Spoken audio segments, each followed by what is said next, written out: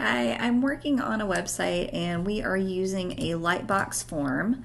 So when you click this button, join the network, it opens up a form and this is super ugly. So I'm going to make it look more styled, more in line with the style of the site. And so I wanted to show you how I'm doing that using some code.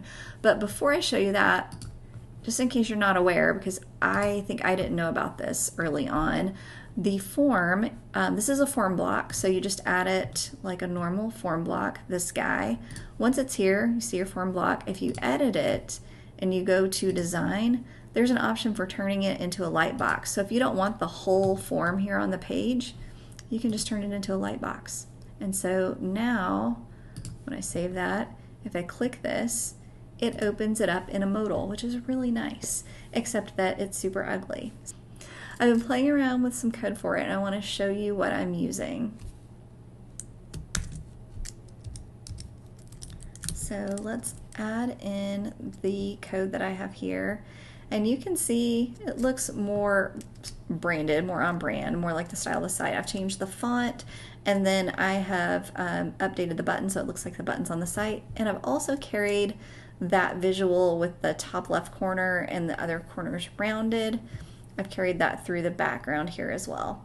So let's take a look at that. So the first code here tar targets this background area and I have it set so that it is adding a border radius, so a curve to the top right, bottom right, and bottom left.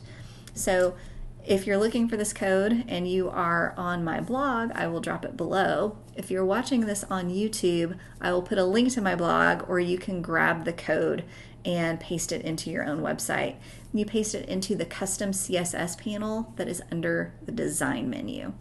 So we have our border radius here. So let me take that off and you can see it squares everything up on these corners. I'll add it back and these are rounded, which is really nice.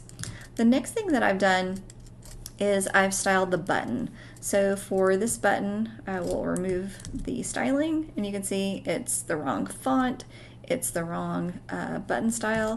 So I'm adding it in here. I'm changing the font to the font that is on my site. And I am also adding that same border radius, but slightly smaller because this is a smaller area.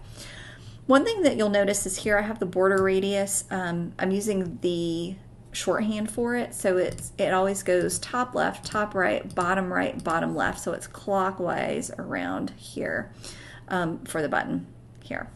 And I broke it up for the background. And that's because when I used the shorthand, it didn't work for the background. So if you're ever in a position where you're trying the shorthand and it's not working, try breaking it down in its constituent parts and those may work for you. So our button is nice now. The last thing that we're doing is we're changing the font family to match the paragraph font on the text. So let me remove that. That's probably the biggest change and I'll add that back and you can see that the font changes here.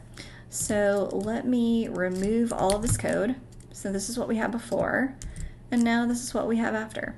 So I hope that helps you dress up your Lightbox form a little bit as well. Best of luck with your website.